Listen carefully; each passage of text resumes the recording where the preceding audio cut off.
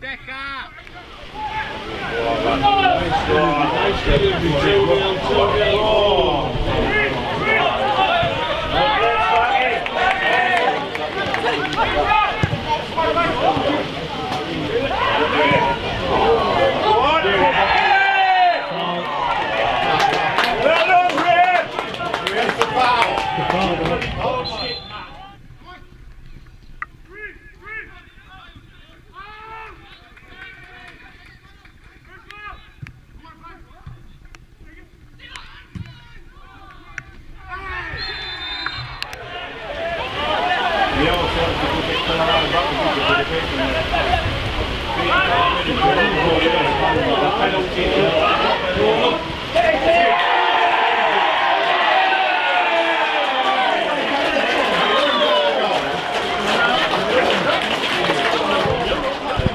Spennymoor time here with Tommy. Tommy, that was definitely a game of two halves, wasn't it?